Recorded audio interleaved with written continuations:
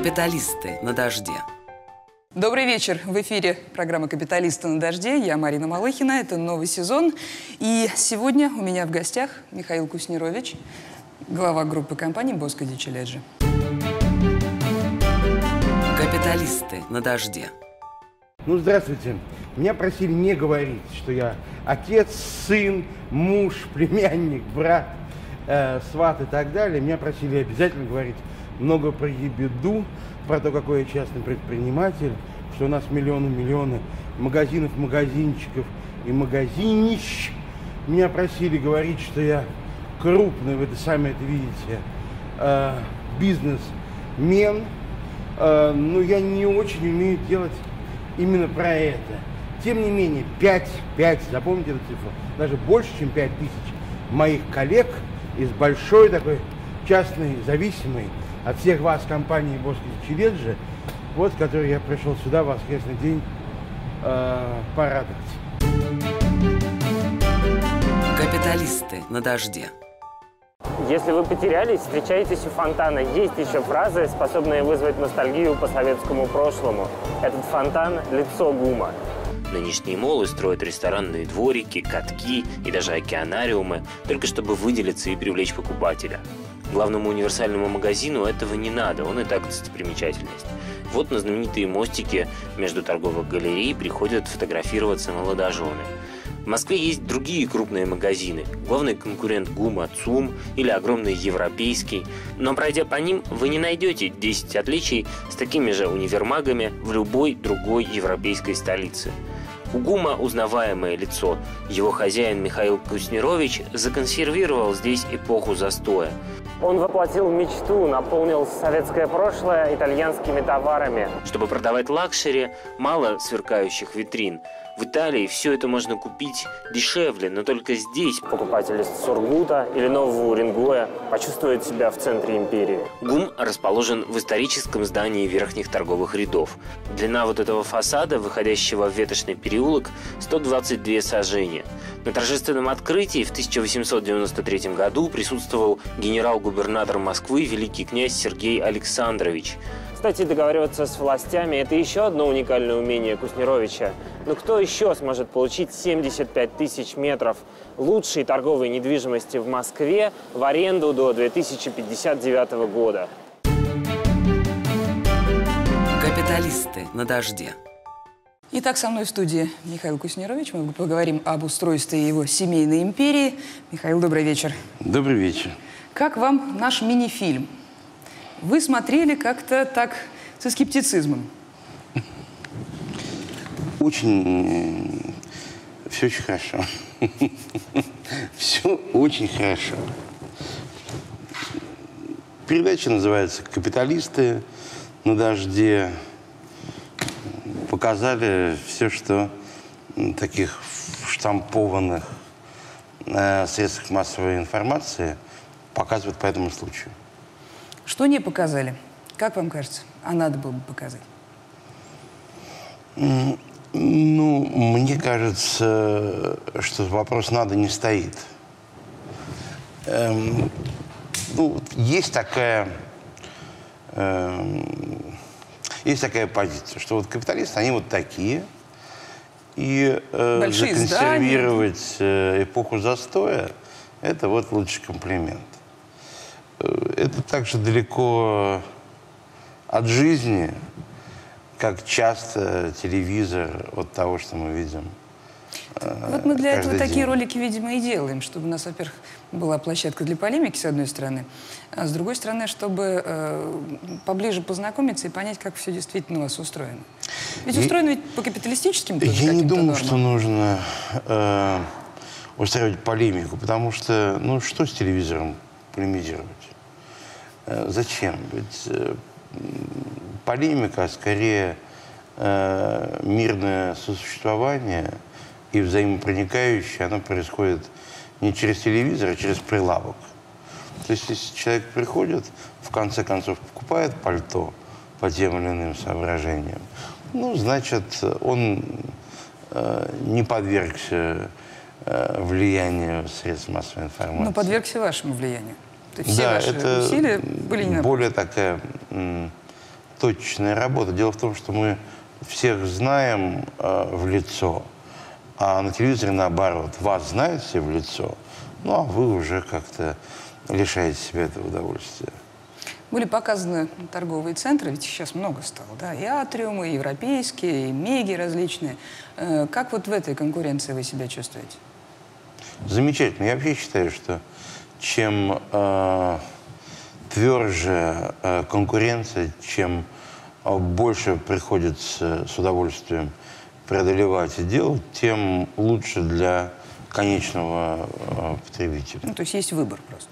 Ну, выбор-то и есть, на самом деле, э, роскошь, которую м, вот как раз в эпоху застоя мы не могли себе позволить, а сейчас, по-моему, можем. Вот такая цивилизованная розница, которая возникла у нас за последние 10 лет. Э, насколько все-таки конкуренция, насколько вы учитываете ее? ЦУМ – одна история, э, атриумы, меги и так далее – это другой сегмент. Ну, Кто ваш сейчас? Давайте так, предметно говоря, э, если все, что, чем мы занимаемся, сводить к ГУМу, то это немножечко несправедливо. Я Как- встану уйду. Как здорово, что вы это сказали. На этот случай, по нашей доброй традиции, у нас есть много всяких карандашей, я думаю, что много, на самом деле, всего три. Но как это устроено? У нас ведь действительно есть понимание, что есть ГУМ, есть Михаил Куснирович, есть Боско Дичеледжи. Из чего складывается вот ваша империя? Чем вы руководите? Ну, смотрите, э, вообще не так. А как? Вообще сначала, мне кажется, так бывает почти у каждого. Есть э, мама и папа. Да? Потом, ну, естественно, бабушки и дедушки. Потом появляется, ну, вот, допустим, Кушнерович. Потом появляется э, Кушнерович с Моисеевой. Это жена. Потом появляются здесь уже маленькие Кушнеровичи. И вот здесь появляется еще большое-большое количество людей, которые называются вот так вот Боско Family.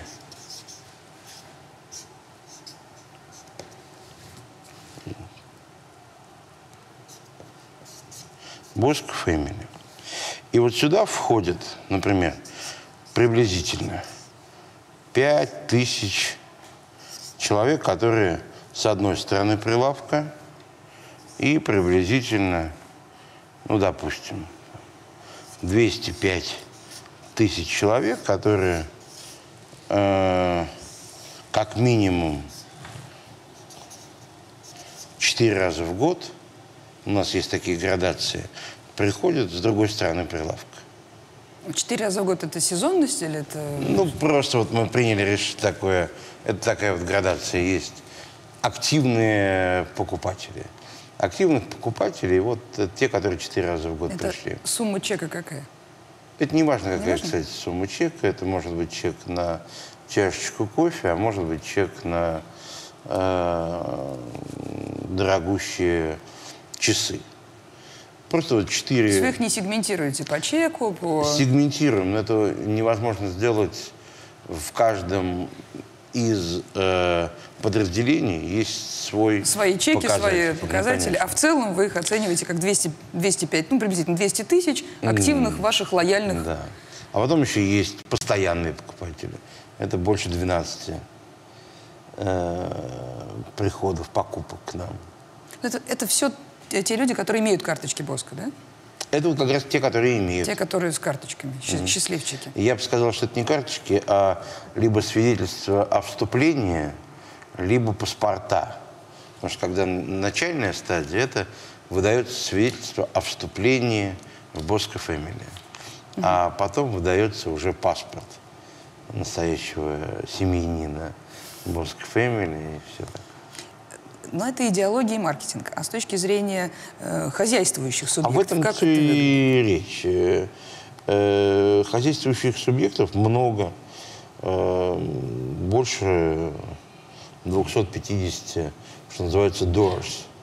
Но вот эти doors, они от 50 квадратных метров до 3000. Это все одно. И, и, и. Конечно, ГУМ – это один из важных моментов. Мало того, что Обновим. просили все по-честному это делать, поэтому вот есть Боска. Боска, конечно, много в Москве. Потом есть Санкт-Петербург. Потом есть Самара. Потом есть... Это ваша розница, это не франшиза, да?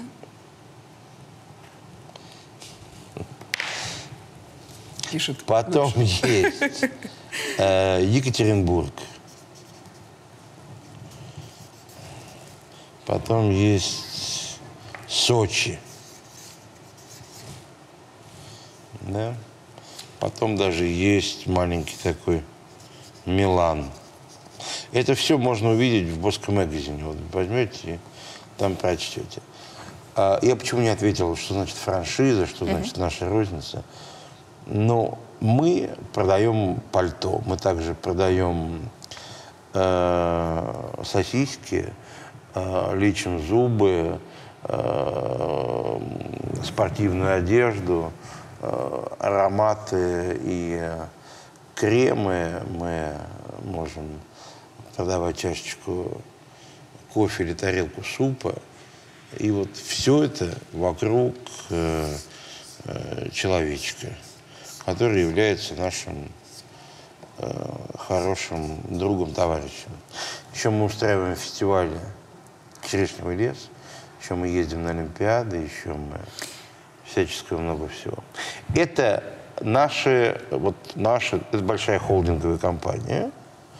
А есть еще здесь, допустим, Боска Москва, а есть Боска Нева, а есть Боска Волга, Боска Урал и даже Боска Ривьера.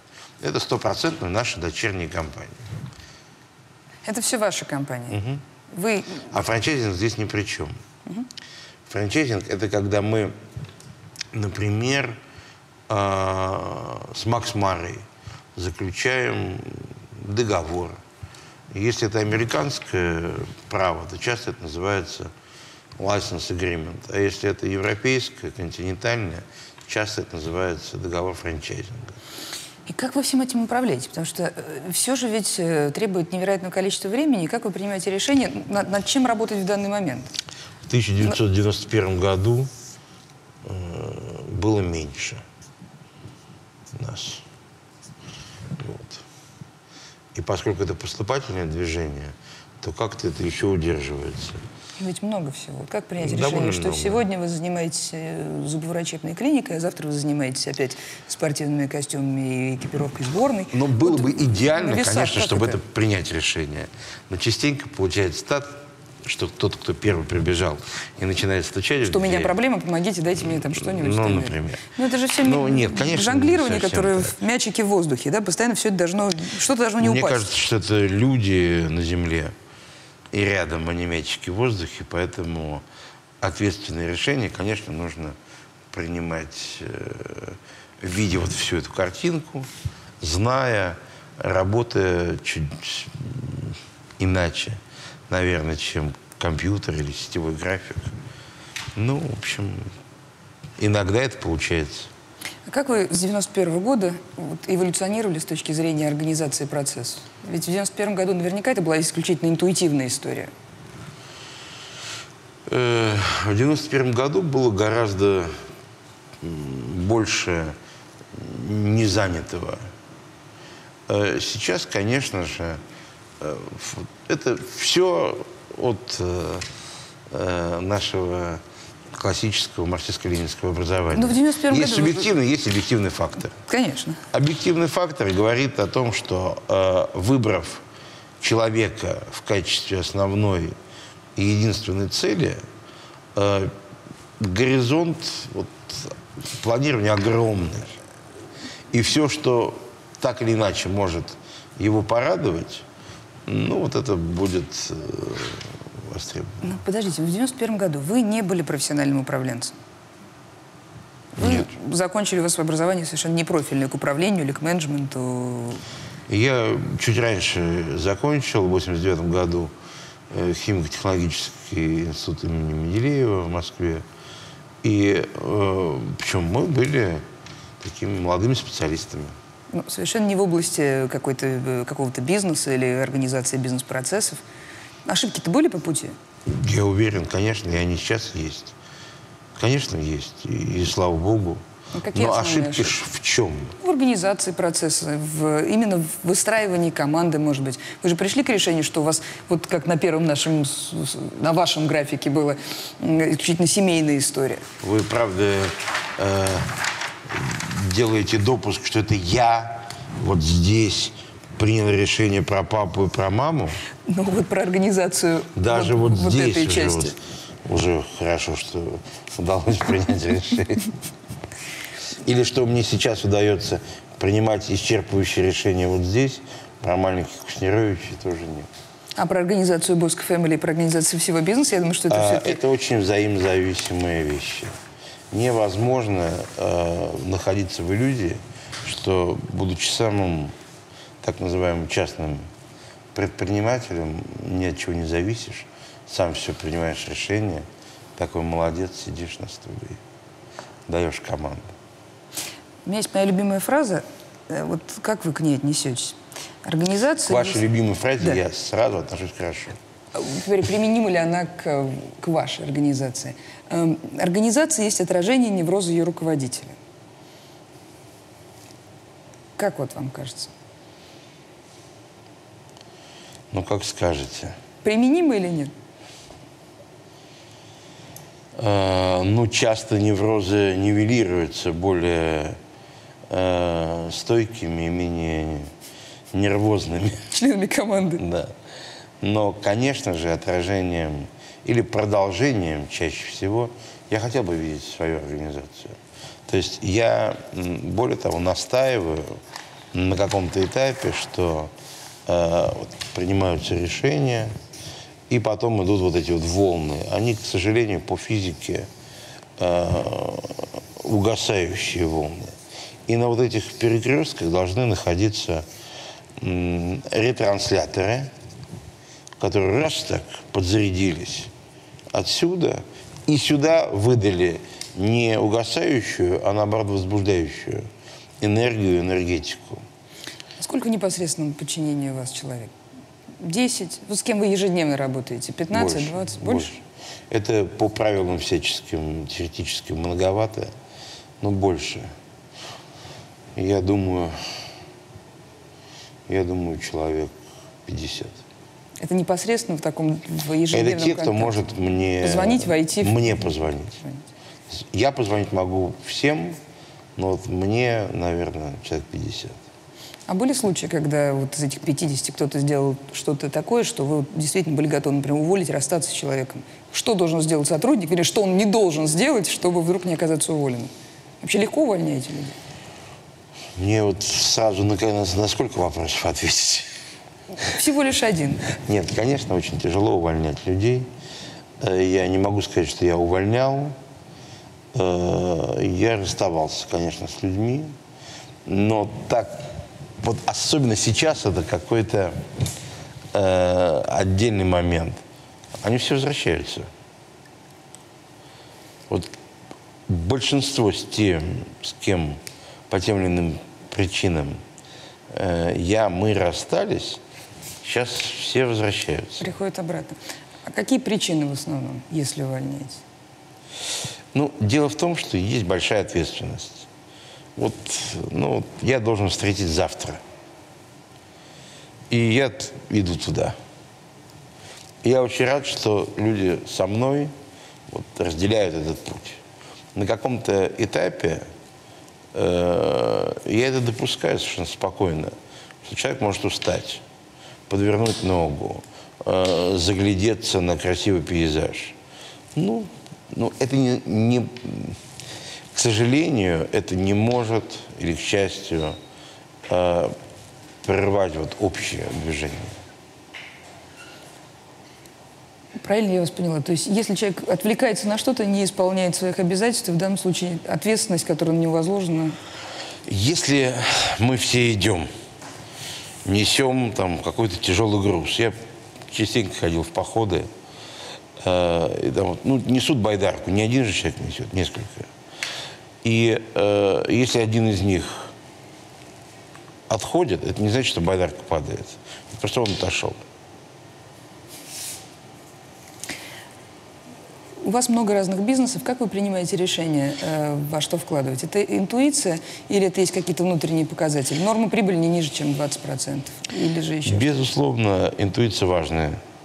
Безусловно, желание разукрасить э, пространство рядом или как-то э, придумать, выдумать что-то новое для жизни – это важный фактор. Вместе с тем существуют процедуры. Процедуры там, инвестиционного комитета. Он то есть этот инвестиционный комитет, то мне так уже это начинает э, нравиться, что я думаю, ну, пожалуй, без него. Без комитета. А вы можете обойти комитет – это комитет и сказать, товарищ, не надо, комитет сегодня не надо, я вот хочу Ну, а влюбиться в как этот бизнес. получается новая инвестиция? То есть формируется прибыль, она уходит бенефициару, э, ну, то есть мне. В конце концов, ну, можно тогда я буду э, сам уже и делать эти ошибки. И сам так или иначе решать. Другое дело, что, безусловно, мнение всех тех, э, кто рядом, это очень важно, потому что это не может быть чисто мое развитие, чисто мое решение. Если я не сумею влюбить в себя эм, людей, с которыми я проживаю этот участок жизни, это чаще всего обречено на такую сложную жизнь. Иногда, как бульдозер, я могу это все-таки продолбить. Но это тоже довольно тяжело. Когда все вокруг говорят «нет, нет, нет», ну, Нет, все равно пойду. Нет, во-первых, это может быть правда, что лучше этого не делать. А во-вторых, это может быть, что мне Есть надоедает примеры, это от чего вы отказались? Что все говорили, ну не надо, и вы в итоге согласились, сказали, не пойду действительно. Чего-то глобального такого. Ну, какой-то бизнес-проект, например. Ну, кстати, есть. Кстати, есть. Вот в Петербурге у меня было там желание сильно много развить. У нас и сейчас уже там 18 магазинов успешных и так далее. Но был большой проект инвестиционный. По покупке чего-то, какого-то здания или какого-то актива? Ну, в том числе, да. ну. И почему решили не идти? Все говорили нет. И мне так уже было тяжело. Это же невозможно жить. Допустим, я смогу это сделать на моменте запуска. Но чтобы это приносило радость, успех и все остальное прочее, ну, это нужна вот очень сильный ретранслятор. И если их нет, то, может быть, действительно это не стоит делать. Кто круг этих лиц? Это вот этот э, инвестиционный комитет, это Это супруга? все, все это- семья, все семья. Все вот эти вот родственники. Говорит, денег не дадим, Михаил, да? Да нет, не кидай туда денег, не занимайся этим. И так хватает головной боли или что-то еще? Ну, это да, да, да. Не надо этого делать. Пере- Перед тем, В лучшем случае. Это я мягко говорю. А как-то есть какие-то возможности, вот как э, попасть в этот круг семьи, вот как каким-то управленцем, который на высшей ступени стоит? лодочка, лодочка вот такая. Тут сижу я, толстенький, с ручками и с веслами. Что-то грибу стараюсь.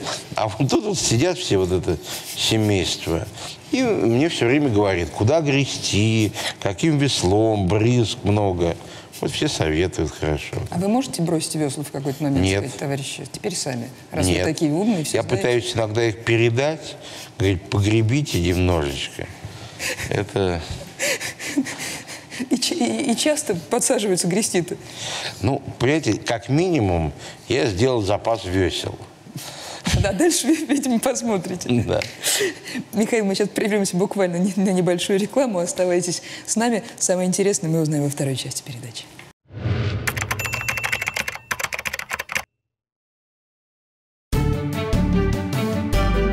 Капиталисты на дожде. Итак, это снова «Капиталисты на дожде». У меня в гостях Михаил Куснирович. Продолжаем нашу беседу. Михаил, после таких замечательных рисунков э, к более, наверное, таким более строгим, что ли, формальным бизнес-вопросам, все-таки насколько ГУМ и вообще э, недвижимость – это м, тот важный фактор успеха, который вам помогает строить то, что у вас есть? Ну, считается, что вот эта расхожая довольно-таки, ну, необъяснимая фраза location, location, location – это э, единственный главный успех того или иного дела, предпринимательства в области розничной торговли.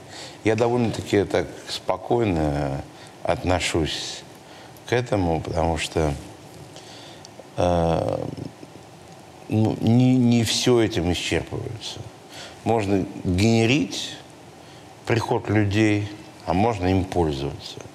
Если э, на том или ином этапе нам показалось, что мы должны взять стратегическую ответственность за то, каким вообще будет ГУМ, ну, потому что потоки немного мешались. Мы э, находились на первой линии и вот двигали там свою идею мозг э, пространства на всех остальных э, линиях, этажах и так далее.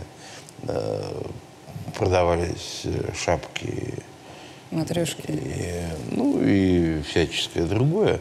Ну да, да, это, это важно. То есть есть точка перегиба. Так же, кстати, как универмаг э, «Весна» на Новом Арбате. Вы говорите «гум, гум, гум». ГУМ – это, ну, треть нашего э, общего предпринимательского пыла. И ответственности. обороты тоже. Да, Или нет? да, В финансовом смысле Ну, одна треть да. оборота всей вашей империи составляет... Я так не люблю слово «империя». Давайте подберем другое слово. Давайте. Боск Фэмили. Ну, да. да. Так удобно. Пространство Боска, да. Пространство. Треть. А весна? Ну, Весна еще э, там 15%. Одна треть, соответственно. Я, кстати, не дорисовал. Вот там начиналось, где Москва. Вот в Москве большие у нас есть. У нас есть ГУМ, у нас есть Петровский пассаж, и у нас есть Весна. Это то, где мы несем ответственность, где много наших магазинов. Есть еще Смоленский пассаж и прочие, как мы называем. Москва это сколько процентов от вашего бизнеса? Э, довольно много, конечно, довольно много. Вот 80 на 20? Две трети. Две трети. Две трети, да. Всего бизнеса все-таки это Москва. Да. Две трети это здесь, где-то 65 процентов это здесь. И вот все остальное это еще одна треть. Дело в том, что помимо вот этого, у нас же теперь очень много всяческих боскоспортов. Их уже почти 50 по всей стране. От э, Калининграда до Владивостока. Вы как компания не разглашаете ваш общий э, объем продаж? Это закрытая информация? Я даже не понимаю, почему она закрыта. Или... Вот э, я прочитал тут 200 самых непубличных компаний в Форбсе. там, называют оценки. Э, там написано 15 миллиардов. Ну, она вообще не учитывает, например, ГУМ как ГУМ. Потому что есть Боска со своими... Ну, есть профильный бизнес, а есть бизнес э, по сдаче в аренду площадей. Не только. Например, э, де юре гастроном в ГУМе – это ГУМ. Или там все наши столовые, комбинат хорошего питания, или э, очки, обувь, что-то еще. И это еще дополнительные там. То есть 15 миллиардов оценили мало. Ну, я просто не знаю методики, которые оценивают. Ну, будем это брать за отправную точку. То есть больше. Не Ну, согласна. э, нет, если какую-то там часть вычленить, это правильно. Но, по-моему, там многое что не учтено. Сколько надо добавить, чтобы была объективная картина? Ну, ну, три четверти там учтены точно. Мне так кажется. А вы в абсолюте свою цифру же, естественно, по году знаете. Знаю, но это вот вообще... меняет дело. Да, честно говоря, да. это не э, какой-то Рубикон, ко- после которого что-то становится. Конечно же, переход количества в качество, он важен. Но мы сейчас в таком периоде, когда лично тоже сам не можешь управлять этими э, магазинами, магазинчиками, кафе и клиниками зубодравительными. И, с другой стороны, выход вот на все эти публичные размещения Но IPO не рассматриваете. не. Почему? Ну, потому что э, ну, нет такой цели. То есть своих денег для развития хватает. Ну, И не нужно с внешнего рынка их привлекать. Понимаете, как только развитие становится неконтролируемым, а глубина его, она очень э, такая в рисковую зону уходит. Мы стараемся иметь операционную прибыль от каждого проекта. Если у нас 250 проектов, то желательно, чтобы все 250 имели положительную цифру в конце года. Если это там из 250 э, 10 неуспешных, мы это еще можем пережить. А у вас есть неус- дотационные ну, конечно, проекты? есть. Ну, это отложенное развитие просто какое-то, видимо. Ну, отложенное или ошибочное, или что-то еще. А ошибочно и долго тянете проекты? Нет, 4 сезона. Четыре сезона. Вот 4 сезона, если у нас есть минус, По марке или по, по, по какому-то... по месту, По да, месту. по вот открытому. А из 200 Если большой проект, вот большой там, то это 6 сезонов. А Если это отдельно взятый магазин, то 4 сезона он должен выйти на плюс. Бизнес-гигиена какая? Это 20% по прибыли, это минимум, иначе вы не рассматриваете. И эти шесть сезонов вы считаете, исходя из А, этого? Мы счит- в этом инвестиционном комитете, в те периоды, пока он функционирует, Когда вы ему разрешаете функционировать? то там 15% заложено. Это чистая прибыль уже 15%, за вычетами всех обстоятельств. То есть это не беда, а просто м, Мы 15%. идем, м, пытаемся выходить на 15%. Ну, то есть должна быть выше, На чем третий, стоимость денег. на третий год. 15%. Да, После- третий год. После вот двух э, лет стартапа, то да. А какие марки, например, вы никогда, марки, проекты, э, вы никогда не пустите в ГУМ или в другие ваши Мне сложно площади? сказать, что никогда. Я вообще не люблю э, закрывать дверь перед, перед какими-то возможностями. Ну, как, ну вот вы едете в поезде. На какой станции вы никогда не выедете? Ну, нет такой станции.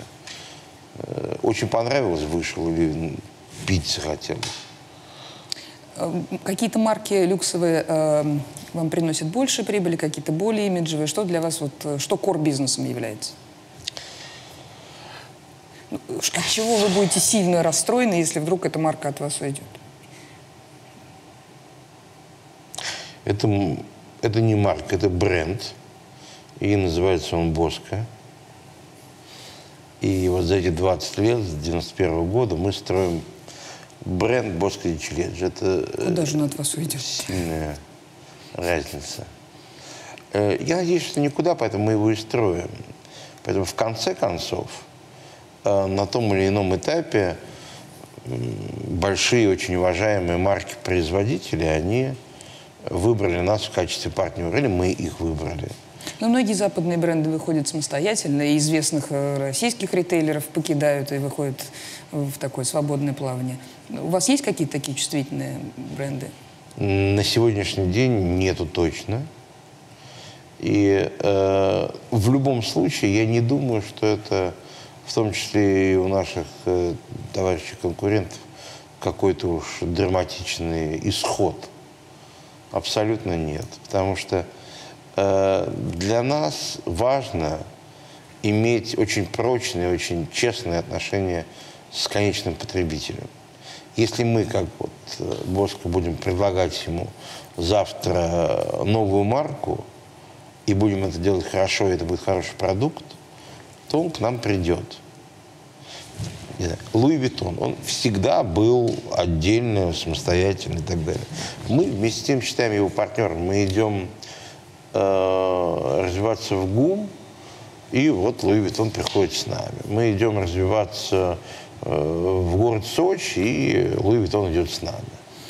Говоря о городе Сочи э, и говоря о разных э, компаниях или странах, с кем вам приходится взаимодействовать, получается у вас очень большой калейдоскоп. С одной стороны, западные бренды, у них один менталитет, а- один стиль работы. С другой стороны, государство, Олимпийский комитет, где у вас другая функция, другая задача. Э, Как вы балансируете? Ну, э, может быть, я вас немного разочарую, но в очень крупных западных компаниях абсолютно государственный имперский менталитет. Им- Имперский менталитет. Особенно в американских компаниях. То есть управляемость огромными компаниями – это тот еще бюрократический механизм. Государ... Отдельное государство в государстве. А история с Олимпийским комитетом, а, история с экипировкой для нашей сборной и бизнес, который вы на этом построили, это прибыльная история? Вообще это бизнес или это некая такая вот социальная инициатива? Я вообще люблю ну, слово не бизнес, а предприятие. И это, конечно, не так, но расшифровывая так. Вот что такое предприниматель, предприятие? Как вы расшифровываете? Ну вот делю на всяческие корни и слоги. Вообще это делать все для того, чтобы вам было приятно. А я тот человек, который бежит до того, как. Предприятие. Перед тем, как вам сделать приятно, есть вот такой, как я, который немного суетится и готовит вам праздник. И в этом находит свое, э, э, свою гордость, в конце концов. Но это реализовывает. все-таки э, предприятие, э, которое в таком же режиме, как ваши остальные, существует, то есть минимум 15% прибыли, э, 4-6, а иначе закрываем. Или все-таки по-другому вы к этому относитесь? Ну, конечно, это большой, длинный э, момент создания не только собственного бренда, но и собственного продукта. Потому что одно дело эфемерный продукт с нашими паспортами, с нашими журналами, с нашими Боск Fashion Week'ами или фестивалями, или Сколково. И другое дело продукт, который вы можете пощупать, который либо плох, либо хорош который э, имеет свои потребительские свойства. И, конечно, это такой большой довольно-таки вызов, и э, это более долгая история. И, конечно, это не два года. Уже 10 лет мы Вы вышли хотя бы на ноль На ноль в чем? в заработках? В те, вернее, вложения вы свои вернули, и вы, или вы болтаетесь на нуле, или хоть чего-то удается заработать? Есть большие инвестиционные э, обязательства, связанные со С первичным входом в этом- в эту со спонсорством Олимпийской команды России или Олимпийской команды Украины, или Олимпийской команды Испании, которую мы одеваем. Это один. Другой момент – это инвестиционные проекты, связанные с открытием магазинов, созданием продукции. Вы отдельно рассматриваете. Ну, конечно, потому что... Все равно же первый это тоже затратная часть. Ну, это для всей группы. Я отношу это так, что вот От- Отдельно. вся группа... Купила Я права. успокаиваю, конечно, Мы все себя. вот купили права, а дальше Да, это отдельный да, бизнес, на который конечно. мы будем считать уже по Ну, конечно. всей гигиене. Вот если так делать, то да, это хороший и э, прибыльный бизнес. А если в затратную часть включить те издержки то, на вход, на входной билет, то, то, это неправильно сделать. то это неправильный бизнес. Нет, нет, неправильно Не- включать. неправильно считать. То есть Ну, это конечно, отдельно ваша как бы, неправильная спонсорская методика. история. Это неправильная методика, потому что вся вот наша большая штуковина, она нарабатывала на то, чтобы в какой-то момент начать производить и распространять и в России, и не в России свой продукт. Вот. И когда я говорил, что какая марка э, будет неуспешной, вы расстроитесь, это Боско. Вот если мы сделаем этот э, продукт с курточками, который не будет э, воспринят, востребован, конечно, я расстроюсь. Сейчас какой уровень покупок вообще? Вы ожидали больше спрос, меньше спрос? Нет, мы, слава богу, выполняем поставленные планы. Это тот спрос, который... ну, Сейчас он будет еще более взрывной из-за того, что мы выйдем с новыми коллекциями. Исключительно Сочи 2014. Вот это будет отдельный такой вызов, который нужно сдюжить. А какой объем продаж приблизительно? Ну, на сегодняшний день э, объем продаж осуществляется там, если вы, в рублях ориентируетесь, В рублях ну, 2 миллиарда рублей годовой объем. Это в год, да? Да, это не, не очень большой объем, это там еще все 10% нашего общего какого-то дела. Но от нуля это много. То есть ни один такой известнейший бренд, Подобные как вы говорите, там, люкса, э, по франчайзингу, который мы получили, такого старта, честно говоря, не имел. Кроме всего прочего, вот здесь мы делаем еще и франчайзинг уже собственной марки.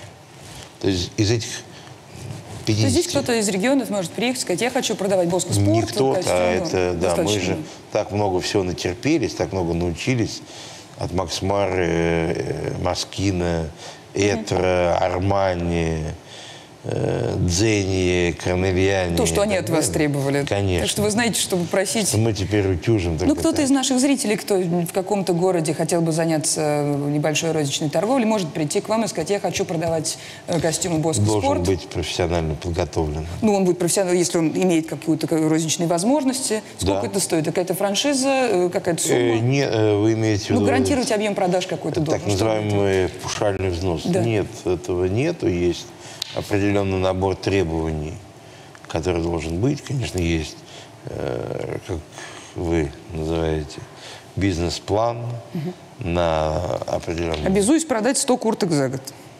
Если обязуешься, прогарантировал, пожалуйста, бери. Ну, э, мало сказать, да, я, потом сказать, ну, не смогла. Должны быть какие-то предпосылки для того, чтобы это случилось. Потому что 100 курток э, продать в Москве гораздо более вероятно, чем, там, не знаю, в Вышнем Волочке. Да. городе. Можно пару личных вопросов перед тем, как мы Пожалуйста, а закончим? до этого чьи, какие были? Семейные. Говори вашу Я, терминологию. я почти это дело не разделяю. Вы ну, боитесь тем- чего-нибудь? Есть какие-то бизнес-страхи? Вот, послушайте, вы вот умудряетесь перпендикулярно задавать вопрос. Мы стараемся. Боитесь чего-нибудь и есть ли какие-нибудь бизнес-страхи? Вот два мира, два детства. Чего боитесь с точки зрения бизнеса? Послушайте, вот это кусочек жизни. Ну вот я по жизни, ну, конечно же, чего-то боюсь. Как нормальный, мне кажется, человек со своими неврозами. Боитесь государства, боитесь... э, чего? Ну, в свое время люди боялись, чтобы не было войны. Э, Потом люди начинают бояться, э, что э, будет плохо себя чувствовать самые близкие люди. И боюсь разочарований, боюсь того, что не хватит куража, несмотря ни на что, э, продолжать э, э, идти в завтра, а не смотреть все время на вчера или там, не наслаждаться сегодня. Ну, конечно. Боюсь того, что в какой-то момент просто не справлюсь с той ответственностью, которая существует. А у вас не было таких мыслей? Вот страшно, вот Ходорковского посадили, мало ли как дело обернется.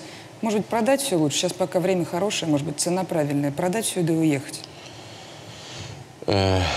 Пока можно выручить какие-то хорошие. Мне странно, что я в телевизоре говорю откровенные вещи, но тем не менее нет.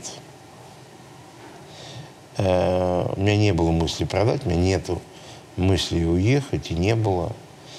Э, И мне кажется, что мы еще покарабкаемся. Спасибо большое. Это был Михаил Куснерович, глава Боско Фэмили, компании Боско Дичеледжи. Спасибо вам, Марина. Спасибо за откровенность.